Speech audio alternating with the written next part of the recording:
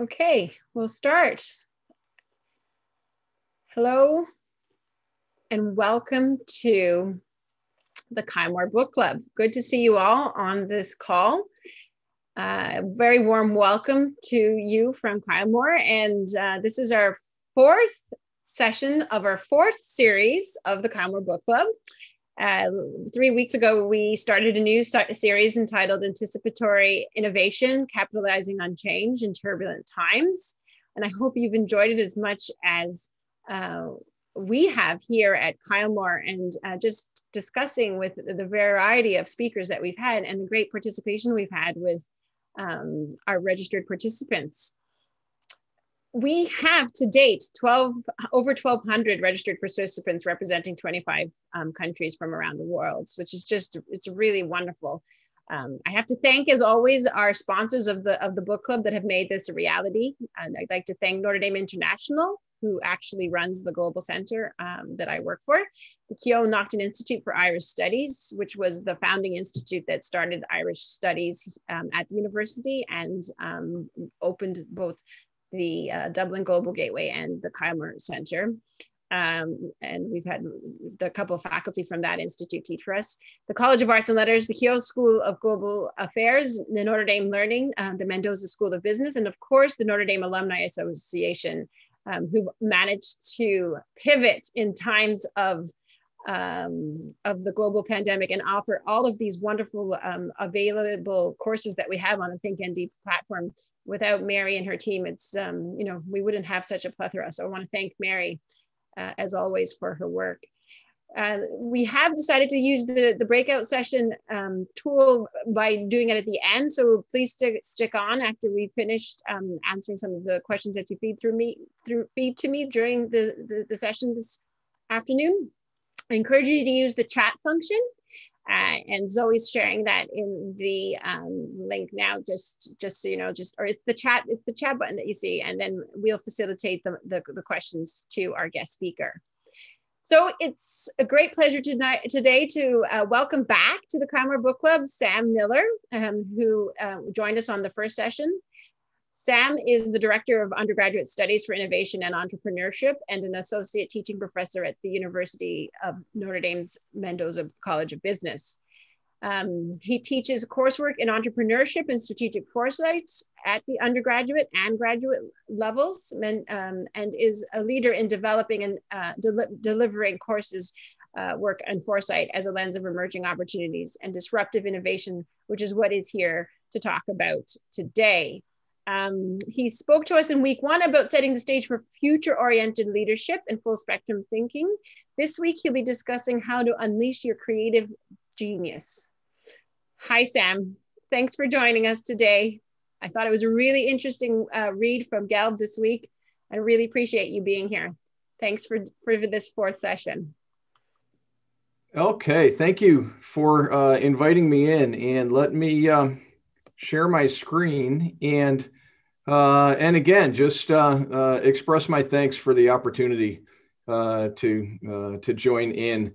The um, uh, the topic that we have for today is um, is around creativity, and what I what I like to say is um, creative genius, and the um, it builds on the work that we started with in the um, in the earlier webinars and um, and content, pre-reads, etc.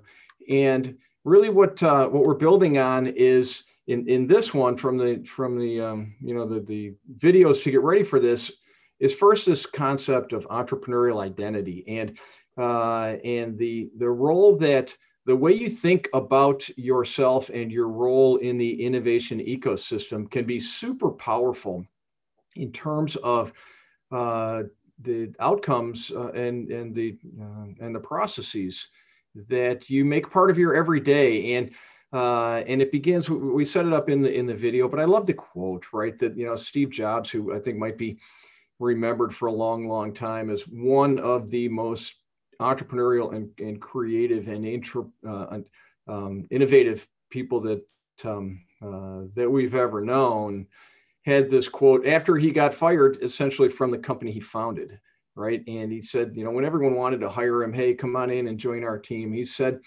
you know, I don't want to, um, you know, march in formation. I want to, I want to grab a boat and, and head for the horizon and and uh, and see what's out there. And I think that's a really important attribute to keep in mind. And, and we set that up with some resources and uh, and commentary in the first uh, video. And then we went into the uh, the pre-read of, of the, the, first chapter from this book that I love, uh, How to Think Like Leonardo da Vinci. And uh, I think, you know, probably the creative master of, of human history, uh, or certainly one of them, and looked at these seven principles uh, that he embodied in the way he approached the world. And so, uh, with that as a setup, I'd like to uh, to put in motion a model that I use, and it's um, it's still kind of under development.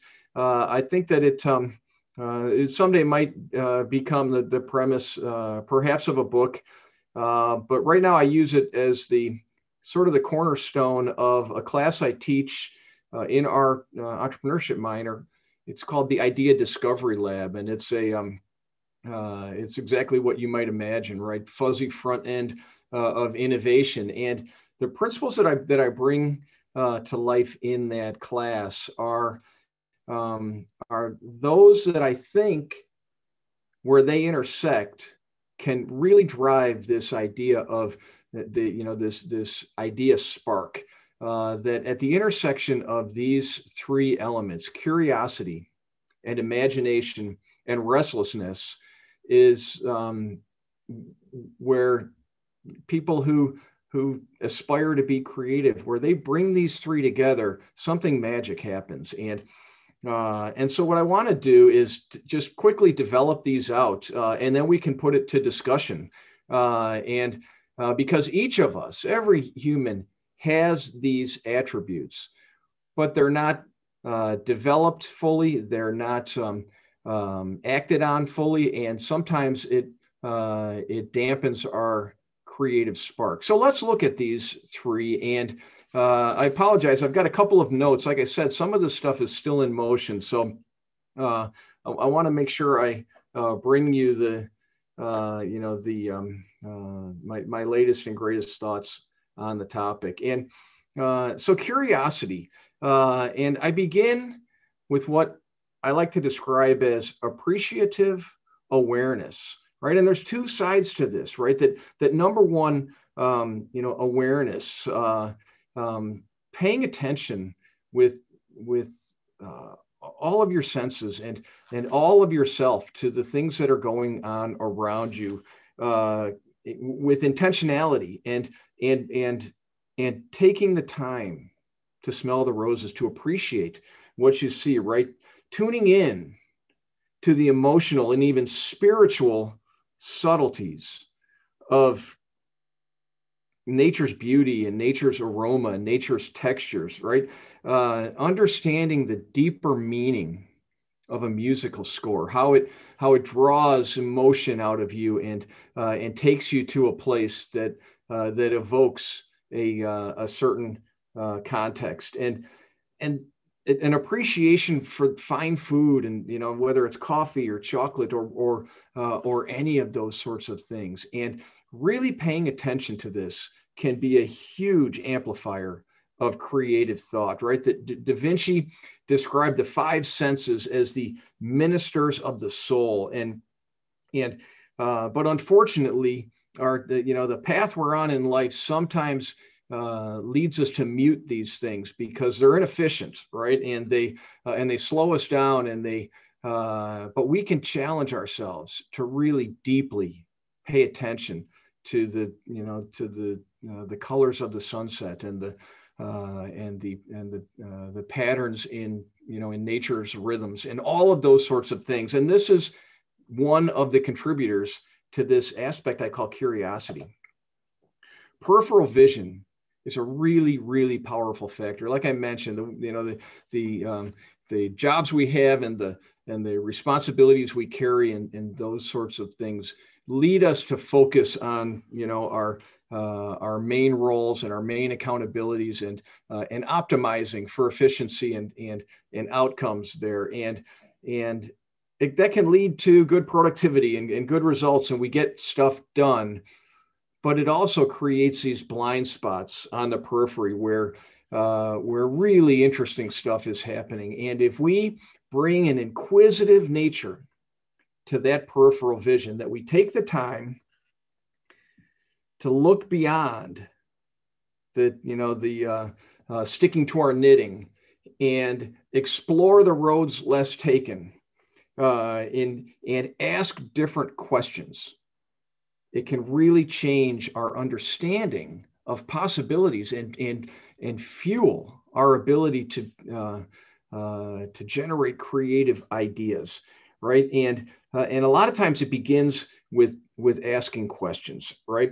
Uh, that we ask uh, creative people ask questions that others tend to overlook. Even if they spot stuff on the periphery, they just take it uh, as, as second nature. And, uh, and creatives are, are less willing to readily accept the, you know, the, the, um, the obvious answers. And, um, and, and peripheral vision also, it expands our view, not just spatially to look into other areas of interest but also temporally, right? That we think about uh, what we see in the context of the past and the present and even in the future. And I think this is a really powerful uh, uh, tool in the toolbox of people that are creative. Both of those two, the, the appreciative awareness and the inquisitive peripheral vision, help us sense signals from the environment that can really inform us. But, um, but in the world in which we live, the the challenge isn't always just sensing, but sometimes it's sense making, right? And um, and this involves one's ability to generate understanding, deeper understanding of things that might be contradictory to uh, to expectations, and uh, and full spectrum thinking requires that we uh, that we overcome the cognitive biases and the barriers that keep us from uh, from imagining uh, the, the possibilities of what we observe on the periphery uh, and with our you know with our deep appreciation uh, we, from our uh, from webinar number one, we we uh, focused on a book by um, an author and futurist and researcher by the name of Bob Johansen, and he talks about the the way that categorization makes our minds very effective and efficient in certain categories, but it can uh, can really punish our ability to uh, to see beyond. And uh, and creative thinkers are able to deconstruct those those barriers and boundaries the categories uh, and and think beyond. And that's a pretty powerful uh, lens for imagining new possibilities.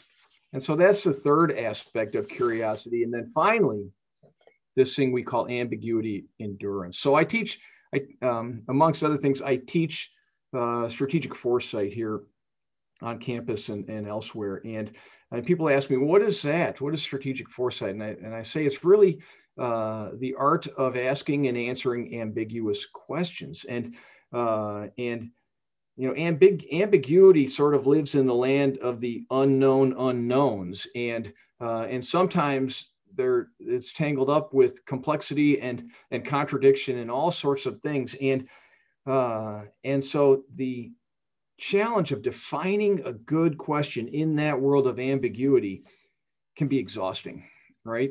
But creative thinkers embrace it. They love it. They they challenge. They uh, they push back on the original question being asked right? And so their first question tends to be are we asking the right question about this topic? And uh, and i think that that's really powerful that and that um, in spite of the fact that ambiguity can can just be overwhelming and exhausting creative people get energy from this right? They gravitate back towards those uh, those fuzzy questions uh, at the at the front end. And uh, and when things start to get sorted out they have a tendency to hand it off to people to go and do the execution and optimization. And so so this is this is the first uh, um, you know rung of the stool, if you will, that I, I call curiosity. And I love this quote, right? That that millions of people saw the apple fall, but Newton you know he he he kept asking and he kept exploring and he looked at the problem from different angles and he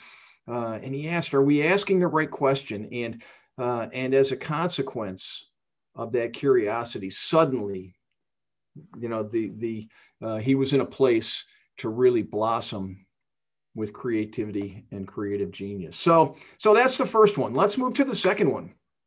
Imagination. Like i said we all have imagination and, and we're born with it. And uh, but like I said, our you know our society and our education system and our and our uh, you know our, our our rules and expectations tend to squeeze imagination out of a lot of the stuff we do.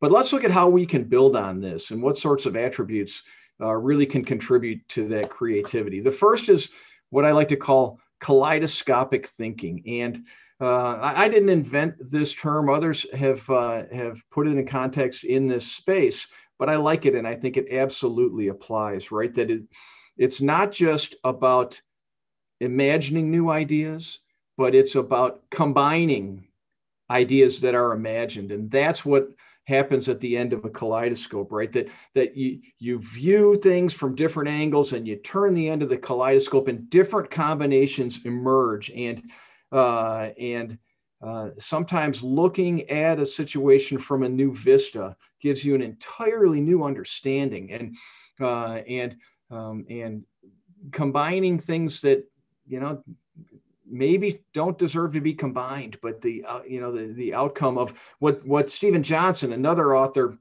in his book where great ideas come from uh, talks about collisions of hunches right that sometimes in a, in the space of creativity the idea that's floating in your mind is just a piece of the idea, not the whole idea. And it's and is looking to uh, to to you know for someone to turn the kaleidoscope and see the uh, a new combination, a new mix, and and that can be really powerful.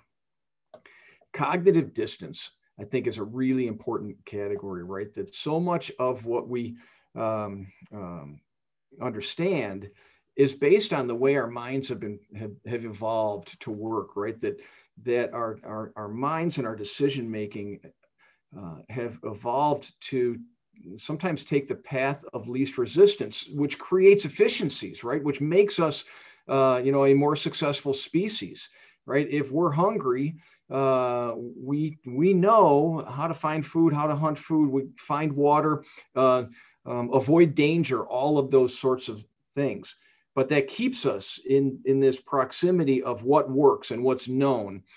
Creative thinkers are able to stretch uh, that cognitive proximity into new spaces. And, uh, and the thing to keep in mind is that, that there's things around the way we see the world around us and understand, uh, you know, everything that we, uh, that we see that are based on these assumptions that some of them are, are below our level of awareness, right? They're subconsciously uh, in there. And it creates this phenomenon called capture that even when we have a big idea, our mind and the minds of all of the people around us that we describe it to and, and we're working with, it pulls it back into the system that we know works, right? Because of the, uh, the way that our, our brains and our minds have evolved. And uh, creative geniuses have a keen ability to deeply challenge those assumptions and unlock uh, um, additional uh, um, possibilities by kicking down those cognitive barriers. And that's a big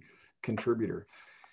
Storytelling is a big part of innovation to begin with, right? But but in this context of entrepreneurial foresight and that spark of a new idea that you know that that um, that could be described as you know in the neighborhood of genius uh, requires that we uh, that we imagine the story from the future right? And uh, you know the, there's there's storytelling techniques like the hero's journey or uh, or uh, design fiction is something that is used sometimes in the innovation space. And and and these methods can yield deeper understanding deeper meaning of what it's like uh, to understand a day in the life in that story of the protagonist. But and, and it allows us to, to bring to life the possibilities uh, rather than um, than sticking to one story. Right? Future telling is a, is a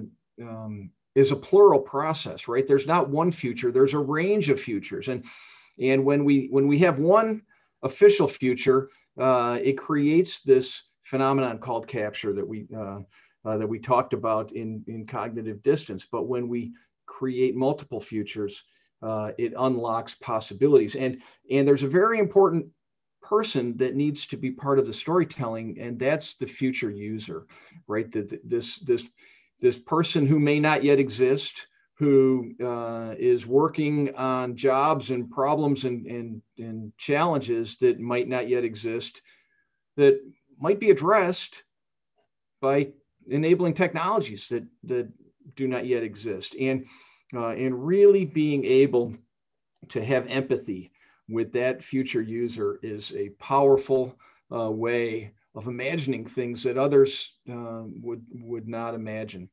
Uh, and then finally, uh, a um, a category I call hitchhiking, right? That the using the power, the uh, the capability of um, associative thinking and uh, um, using metaphors and, and strategic analogies to do a lot of the heavy lifting allows us to go deep on the novelty and the uh, and the new uh, possibilities that uh, that might come from ideas that are being borrowed from other places. And this is pretty powerful. Uh, and there's there's so many examples of where this has uh, been put in place, right? A guy by the name of Charlie Merrill, uh, you know, fought for years to come up with the concept for making financial planning and and investing available for you know the every person on Main Street and uh, and, and couldn't come up with a concept that that others would support and buy into. And then he borrowed the idea of another new concept that was the supermarket. You know, uh, wide variety and, and uh, prices that are published and easy access and uh, and helpful uh, support and all of those sorts of things. And he and he laid that metaphor down, and then it allowed him to tell the story that became you know what, what became as Merrill Lynch. Uh, and you know the, the, the Main Street investing house that changed the whole world for an awful lot of investors. Uh, Henry Ford had a young engineer on his team, a guy by the name of um, Bill Klann, and uh, he observed the uh, the workflows in the meatpacking plants in Chicago, and he borrowed that idea and brought it into uh, the you know the um, the automotive factories and created this concept that became known as the assembly line. But it was all borrowed on you know bring the bring the products to the people and have the people specialize on a particular job and then move them on their way. That idea was already proven. And uh, jim dyson one of my favorite creative geniuses right the vacuum guy and he he recognized the uh, you know the the need to get rid of a vacuum bag but he he borrowed the idea from uh, from the big cyclone towers in uh, in dust collectors and and, uh, uh, and, and, that sort of technology in the big in the big factories, and then he brought it into uh, to make it a part of the you know super successful vacuum that that bears his name. And so the idea here of imagining things that others don't. And I love this three horizons model, right? That we live here on this first horizon. This is the here and now. This is our current uh, set of problems in our products and our markets and our you know our uh, our economy and all of those sorts of things. This is where stuff works and we optimize and we seek to innovate out on this second horizon. This is you know the the uh, the entrepreneurial opportunity that's uh, that's awaiting if we can uh, you know invent and and deliver. The problem is capture pulls those ideas back onto the first horizon and uh, and and makes it almost impossible for breakthrough ideas to fight out of the boundaries of the you know the existing system. The third horizon, this is where real genius uh, happens, where we imagine these transformative possibilities and we we knock down assumptions and, and barriers and tell stories uh, of people who do not yet exist and then that informs our understanding of what the possibilities are. I love this quote from uh, a friend by the name of Jim Dator. He's a uh, futurist that uh, created one of the pioneering uh, foresight programs at the University of Hawaii. And he says, Every, any useful idea about the future should at first appear to be ridiculous because otherwise it's uh, is just a, an improvement and enhancement uh, of the status quo. And, and that's not good enough in this space. So that's the second leg of the stool. Uh, and let's look at the third one, which is this category I call restlessness. And what is that? Well, a couple of things, right? Optimistic paranoia, that sounds kind of scary, right? What, what's going on there? Well, the, um, you know, there's a, there's a great quote that I love. It came from uh, a former chairman or um, uh, general on the Joint Chiefs of Staff, and he said, if you don't like change, you'll like irrelevance even less. And and every uh, every curve on the three horizons is is destined to be rendered obsolete. And uh, and creative geniuses, really terrific innovators, recognize that disruptive change is just around the corner, and that uh, all of the rules of the game will be changed, um, and that maybe that we'd be better off if we fought to change them ourselves, right? And uh, uh, but one of the things that's really interesting here is that they they have a tendency to not view that as a threat, right? Because if we view it as a threat, then we defend what we have and we fight to preserve that first horizon. But if you view it with optimism, as it view it as an opportunity, it changes everything. It fills the uh, fills the the uh, the opportunity funnel with possibility and, and challenges you to chase it down and and uh, and really creative geniuses have this this fire in the belly burning uh, um, uh, sense that man oh man we got to come up with something new because tomorrow might not be as good to us as today creative people are makers. Uh, they they build stuff, and they're always building stuff, and they're always tinkering and taking stuff apart. And uh, and you know, I love the quote that you know a picture's worth a thousand words, but a prototype is worth a thousand pictures. And and so we're always prototyping and testing and and, and building and. Uh, and I think that's a really interesting attribute. And so, what are the things that uh, that sort of fit into this category? Well, one of them is the concept of a messy workbench, right? And, and to a great extent, uh, you know, our companies and our and our and our bosses and our and our families, they they don't like it when our desk is a mess and our workbench is a mess. But the, a messy workbench is the home to a hundred unfinished ideas, ideas that are uh, that are sitting there incubating, right? waiting to ripen, and it takes time. And uh, and so uh, building and testing and and and allowing things to um, you know to, to, to ripen uh, is a big big aspect of uh, of this maker instinct. And uh, and something that I think is even um, um, equally telling is the idea of keeping a, an innovation notebook right? Makers keep notebooks and they populate. Ideas come into their mind and then they, and then they're gone a moment later. And and uh, creative geniuses jot these things down. They jot, them down visually. They uh, they're always working on ideas. They're, they uh, and because the ideas in the notebook become the seeds of the projects that make the workbench messy. And those two things i think absolutely factor in to creative genius. Ambidexterity. Uh, there's so there's a um, there's a book I love. It's called Loonshots by a guy by the name of Safi Bahcall, and he talks about in in innovative uh, uh, companies and organizations. There's basically, and I'm going to generalize here, two categories of innovators, right? The, you've got the artists, and these are the people that come up with the big, crazy, you know, breakthrough ideas, and they're inventing and they're developing, and their ideas are, um, you know, they uh, they sound ridiculous and then at the other end of the building, you've got what the author calls soldiers. And these are the people that take those crazy ideas and they they work out the engineering and they and they build them and they sell them and they and they uh, and they generate customer satisfaction and uh, and and we've got these two sides of the of the brain that need to be brought uh, into focus and uh, and creative geniuses can coexist in both of those worlds, right? They generally aren't super good soldiers, but they can get along with the soldiers and they speak their language, and the, and the soldiers don't view them as a threat or uh, or a distraction. And uh, and so the idea of um,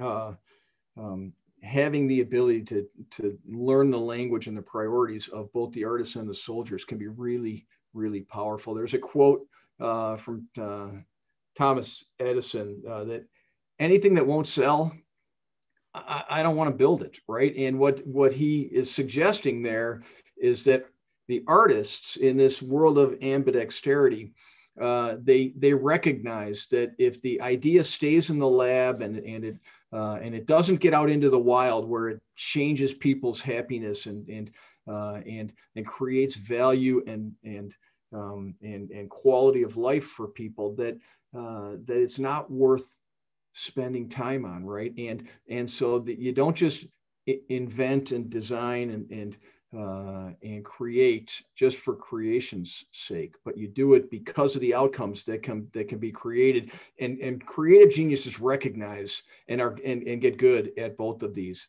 And then finally, the uh, um, this idea of urgency and uh, and um, the you know I, I, think this is a big one. I talk to you know uh, entrepreneurs at all stages of life, and and one of the things you always hear uh, is that man, I wish I would have you know done this earlier. I had that idea and somebody else got it, or I uh, you know now I'm uh, it's too late for me. I should have I should have acted earlier, and uh, and and so the, the Greeks, Kairos comes from from the Greek uh, um, ancient Greek uh, language, and they had two words to describe time. They had chronos, right? And chronos is sort of like the chronological sequential nature of time, right? That tomorrow will come and look a little bit like today, and uh, and next year will look a little bit like this year, and you know, in sequence, and and you know, next spring will have the you know the same attributes of this spring, and so there's not a lot of need for uh, for urgency and change. But then there's kairos, right? And kairos implies that the that time is made up of these moments that are fleeting. They are filled with opportunity that will fade away quickly and and never and never return. And that kairotic sense uh, of um, suggesting that this moment is unique and it's filled with unique opportunity. Uh, it's a gift that will uh, that will be gone and creative geniuses bring that that uh, that kairotic sense of urgency. They're always in motion and acting. And you know i i, I love this quote right? The idea of uh, um, you know from dark side of the moon which whoops might be uh, uh, showing my my age a little bit right? But from the song time right? That that in the in the world of innovation and creativity and uh, and all of the stuff we're talking about it's not a world filled with time clocks and deadlines and project management, right? That uh, you know the, the the lyric says, "No one told you when to run. You missed the starting gun." And and and oh, by the way, you didn't even notice that you missed the starting gun, and that's that urgency that comes into play. And so, those are my thoughts. I um. Uh, I, like I said, I'm uh, I'm using my lab to uh, develop this uh, it gets a little bit thicker every uh, uh, every cycle, and the opportunity to share it with you is um, uh, is something that I'm very um, uh, thankful for. So, uh, you know, again, the the idea that these three categories, when they are amplified, can create something very special in terms of, you know, um, imagining and creating something that is that is entirely new um, and that each of these three categories, any one of us can get better at and uh, and get and um, and and and and draw energy from, uh, not work harder on top of everything we do, but work on things that really bring us passion and uh, and energy. And so that's that's the the um, uh, my thoughts on uh, unleashing your creative genius. I'm uh, I'm happy to take questions for as long as we have, and I appreciate uh, your time. Thanks, Sam. Really wonderful presentation. And I um, want to encourage you all to, if you have a question, just to put it in the chat and uh, we'll get to them. Zoe will feed them to me. Sam, to start off, I, I have a question about education, and I, I'm pretty sure Steve Jobs dropped out of Portland. I think he was in Portland. I'm pretty sure Steve Jobs dropped out of college and, and went on to be so successful. But um, in my experience with a lot of successful Irish entrepreneurs, um, you know, education and the system of education has been met with a lot of skepticism. You know, these these entrepreneurs are self-made, self-taught, and ingenues in their in their industry, similar to what you're talking about with the creativity. Um, but they didn't genuinely do well in school you know, and found that, you know, the school system wasn't built for them. They were outside the pack. Uh, what is it about the pathway of, of, of, entrepreneurs like, say, Jobs or Dyson, whom you mentioned, that makes them not conform to these sort of constraints of, of Western philosophy of school?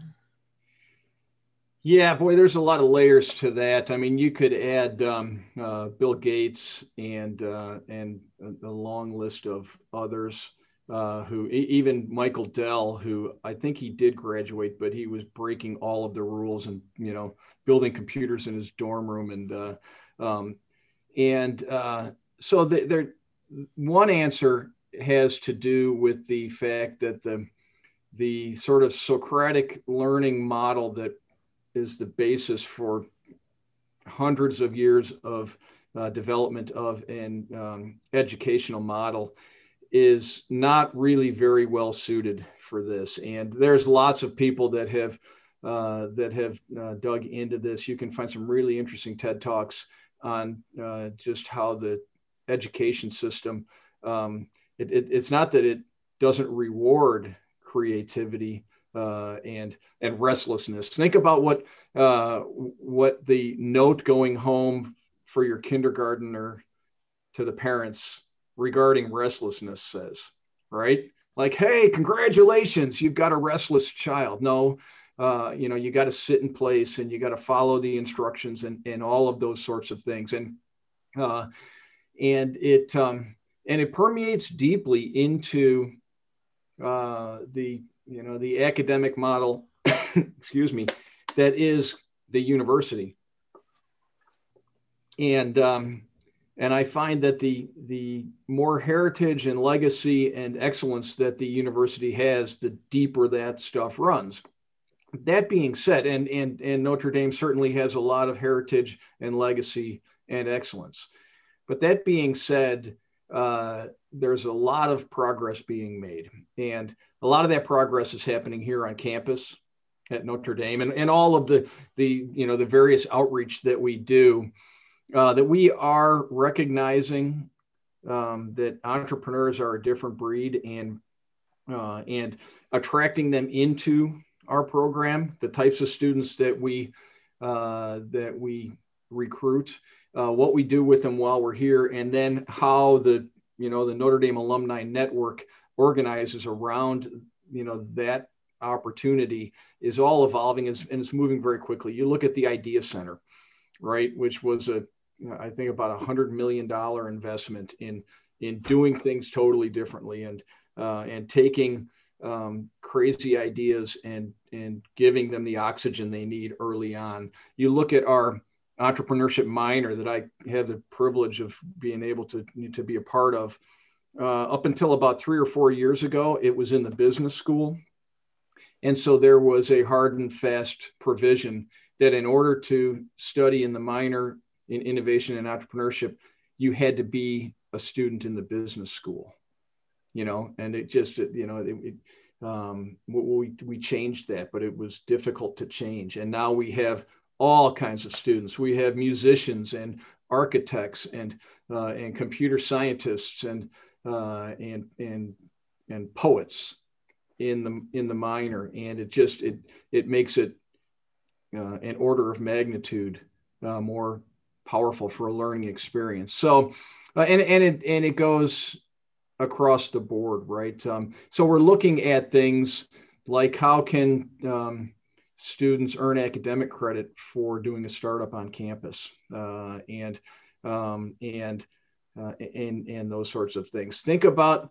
it. Probably a lot of people on this call were either applicants and and and students or they have kids who have gone through the process. And think about the things that are most highly rewarded right? Excellence on your placement tests and ap credits and you know and uh, and the people that were scraping by with a B minus, but were starting their third business in the garage, they generally don't do as well on that. So we we lose the opportunity to welcome them in, and so we're we're asking different questions about who are we trying to attract and going out of our way to to draw them in and even maybe provide some scholarship money and and that sort of thing. So um, we're getting better. I think the um, uh, there's a lot of change heading for the education system at all levels, um, and uh, um, and it's a, it's a powerful question, right? There's a guy by the name of Peter Thiel who's a you know he's a, a billionaire, started a number of companies. He's currently the uh, I think the CEO at a company called Palantir. He was a founder of PayPal and hangs out with Elon Musk and, and those guys. And he wrote a book uh, called Zero to One, which is one of my favorite innovation books. But he's offered a, uh, uh, a program, a hundred thousand dollars scholarship to anyone that you know that people apply, and he awards a number of them. But you don't go to a college. He gives you a hundred thousand dollars to start a business, and uh, um, and that sort of thinking is is gaining traction. It doesn't fit very well with the traditional model of you know earning a degree and then maybe earning a you know an advanced degree and uh, and following a traditional path. So kind of a long answer to a, I think a really powerful question. Well, I do have of I have three little boys, and I have one that's definitely a creative, and you he looks at problems different than the other two, right? So I think creatives, to your point about creativity, it, they do look at um, a challenge in a in a totally different angle that the norm isn't looking at it. So it gives you it gives you an opportunity to to address problems or business opportunities from a, a completely different angle. To your point about future future the future thinkers. And yeah, I'm rem- I'm reminded of um, you know one of the the most creative people maybe to ever you know walk the surface of the earth was was John Lennon, and when he was a, a kid in first grade or so, uh, the class was given an assignment. It said um, write down what you want to be when you grow up, and he wrote down happy. And the teachers like you know sent him back said you you don't understand the question. You're not doing it right. And uh, um, and and that's just you know it's part of the expectations that are so deeply uh, ingrained in our education model Wonderful answer, though.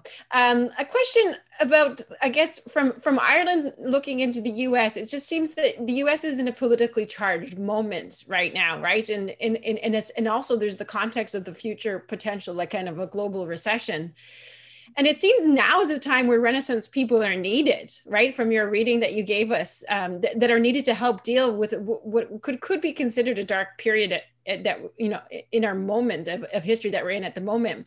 And it seems that the technology which is an advancement um, with, with the internet and what we have with the social media platforms ha- has actually created a sort of ennui or a, a, complacency so that we don't have that act of constantly creating or challenging ourselves but we're we're, we're, we're plugged into other people's kind of ideas and, and movements or thoughts. And i'm just wondering if if you see this as a dark period and a renaissance about to come? Or is there um you know is there a way to to to move ourselves out of this sort of um, technological kind of ennui that we're on when it comes to social media? Yeah wow. I mean an, another easy question that we can just come up with an answer for right here huh?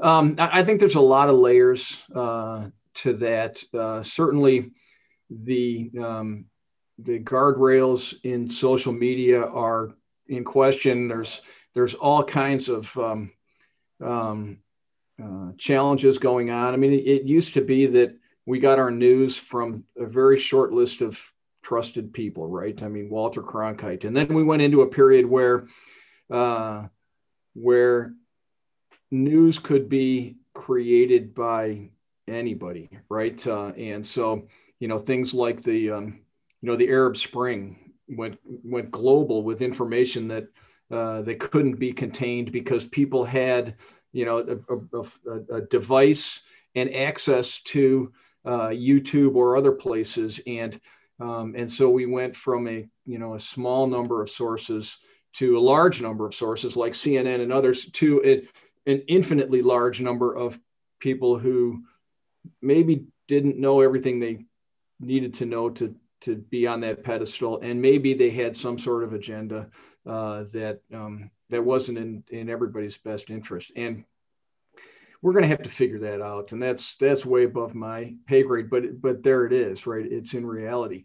But as a consequence of that, you know, the I, I showed a quote before that every idea of value about the future begins by sounding ridiculous and one of the consequences of this you know this this this social media ecosystem with so many sharp edges is that we're not sure what to do with ridiculous ideas. Uh, and and i i mean I, am an innovator. I i um, i i think that creative freedom is something that that absolutely needs to endure but we're seeing you know restrictions on on ideas right? And uh, and i don't want to get into the politics of it because some of the ideas that are being restricted need to be restricted. But some of the ideas that are just a little bit ridiculous right being mentioned by people that are restless right? Uh, um, with a you know with a curiosity asking questions that that others don't i i I, I think I, I'm a big believer that we're a smart species and we will, you know, um, the, the, the, you know the, the renaissance of, of the new model will uh, will start to help us out. But I agree that um, uh, we're, we're going to have to work ourselves through some uh, some you know uh, um, unknowns here, um, and and you hope that really good ideas don't get squeezed out in the in the context of you know uh, uniformity of ideas um, and uh, because you know sometimes the the new ideas break the model right? Uh, so. Yeah. Yeah they shatter the ceiling sometimes. Um, i got a question from jack. Um, thank you jack Project based learning, often ending with a wow showcase event of the product, is being used successfully with middle school students in the after school space. He suggests us to go to a website called citizenschools.org. Is that a type of learning that aligns with your principles of curiosity, imagination, and restlessness? Oh my goodness, I love it. Right. Uh, you know, I'm talking about this in the context of a you know a collegiate minor and a collegiate minor at a you know at a, at a top tier school. And um, but yeah we ought to be starting at the earliest of uh, of ages and uh, and turning these students into curious makers that uh, um, that ask why again and again. And then and then ending the semester with an explosion of celebration right? Um, you know the uh, the space we're talking about is one where you know uh, failure needs to be embraced. Well, you know, K through 12 doesn't embrace failure very well, any better than you know the Notre Dame or any of our peers do. And uh, so when I hear of experiments or summer camps or uh, or after school stuff like that, it just it makes me smile. I think that uh, you know those those are uh, educators that are breaking all the rules and uh, um, and and and reimagining things that uh, uh, that probably get some of them in trouble, right? Um, and uh, um, but I, I, think we need to be doing more of it. We need to be celebrating it more. Uh, and um, I, I, love the idea. what part of the of the world is that? Is that in the U.S.? It it sounds to me that it's um, .org, so it must be U.S. or Canada. Yeah. But, oh, I love it. I um, mm-hmm. uh, I think you know, turn turn turn it up to eleven uh, is uh, is my answer. Um, question on your entrepreneurial foresight: Where does morality play in in in your teaching of entrepreneurial foresight? Yeah, um, I mean the uh, we we always try to uh, recognize uh, the force for good aspect. You know, I mean, again, we're because we're we're Notre Dame, but I think lots and lots of people, uh, organizations, uh, you know, uh, recognize the need to um, to innovate as a force for good, whether it's around you know equality and opportunity or environmental sustainability or or whatever it is. I, I, think in my model, it fits best with that entrepreneurial identity right? What is it that you internalize that you're um, that you you see not as what you do, but why you do it, and uh, and I think that you know not not how do you do entrepreneurial stuff like you know market research or uh, or or um, uh, product design, but what's it like to be entrepreneurial and I think that that uh, you know mission driven, purpose driven sort of ethos uh, fits in there really well. Uh, and you know, I mean, I, I don't apologize for um, you know believing in the you know the, the sort of building on the um, uh, the Edison quote, right? That uh, you know that, that you got to get the stuff out of the lab and into the wild and uh, and generate value with it and it, and companies need to uh, to be able to, you know, to um, uh, to keep some of that value so they can reinvest in the next wave. And uh, there's a there's a quote by a um, an entrepreneur and a futurist out of Silicon Valley, a guy by the name of Peter Diamandis. Maybe you've heard of him. If you haven't, uh, go ahead and Google him. He's an amazing man. He's a co-founder of Singularity University. He he funded, uh, created the first Ansari X Prize, which was the uh, the um, the multi-million dollar prize to uh, to travel to space and back twice in I think a week. Uh, and um, uh, Burt Rutan and uh, Scaled Composites uh, won the prize, and now they're partnered up with Sir Richard Branson to to create uh, Virgin Galactic. That's that's Peter Diamandis, and he makes the argument that uh, hey, if you want to be a billionaire find a problem being experienced by a billion people and solve it, right? And think about what are the problems, right? Human rights, access to water, literacy, uh, healthcare, um, uh, access to energy, um, you know, refugees, all of those sorts of things.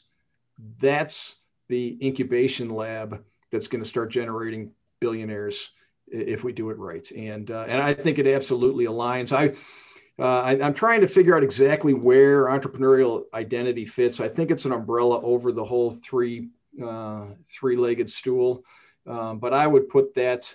Um, you know, you could call it morality, you could call it purpose-driven, you could call it ethics, whatever. Uh, force for good. Uh, I think it's embedded in that identity. Great question. I love it. Well, thank you, Sam. Um, thank you for for contributing today and for the first session. And I want to remind everyone that um, if you're interested in, in, in visiting Kylemore in the not so distant future, when we can all travel again, that Sam is teaching um, his strategic foresight program with us at Kylemore. Uh, so he's lined up to teach for a couple sessions for us so keep that in the books. I want to also um, well, extend a welcome if anyone's interested in joining us. We're all we're, we we try to build community virtually because we know this is also isolating. In addition to the book club, we've also done some online cook-alongs with our chef David Harrison on Fridays afternoons. Uh, and this week, you're more than welcome to join this week as well at three o'clock Eastern time, five o'clock or eight o'clock Irish time. He's making chicken parmesan due to high command demand. Um, the other, and I, we had another question from Rick and, and, and those who weren't able to join today. Um, these are recorded sessions that we'll have on that'll rest on the ThinkND platform. So you'll be able to go back to see Sam's lectures as well as um, his reading. Uh, that he uh, assigned. I think alone from this session, I I think we're going to have to issue a reading list, Sam. I've, I've, I've written down four books at least that we need to include with our uh, notes. So so Rick, you'll be able to um, listen to this conversation on a podcast, and then you're also able to um, go to the summary notes that we'll have published once um, we're finished. Um, so I want to, uh, before we break out to, to, to, breakout sessions where you get the opportunity to talk to one another and, and get to know one another, I just want to thank you all for joining us, and especially to Sam, um, to, to, to Dr. Melvin Dowdy, who joined us, and to Emma McCarthy, who contributed to this entire ser series. And if you're interested in hearing about our next series, which will be in August, um, we will have um, To Hell or to Connacht, Sporting Stories of Inspiration from Galway. Um, it's a famous quote that William Cromwell um, said about, um, about uh, the, uh, the province of Connacht. Uh, and that's not to do just with the amount of rain that we get. So um, we'll be partnering up with Connacht Rugby and uh, searching out some, some inspirational stories, and as well as, you know, the very controversial um, development of the of the, the national song for for rugby. So I hope you um, you join us for that in August. Um, but then in the meantime, you'll be kept busy with Think ND uh, with the Rome Book Club that's starting, and uh, another uh, another great series that we've uh, created with the Think ND platform. So once again, thank you all for joining us and for um, being a part of the Kylemore Book Club community. I can't thank you enough for um, the support from Think ND and from Zoe, who is the background communicator and tech, technician and and now video editor as well. So thank you, Zoe, for your help with this series and all the series uh, that we have. So so we'll, we'll let you have a 10 minutes together to discuss and, and um, please enjoy the time that you have together. Take care.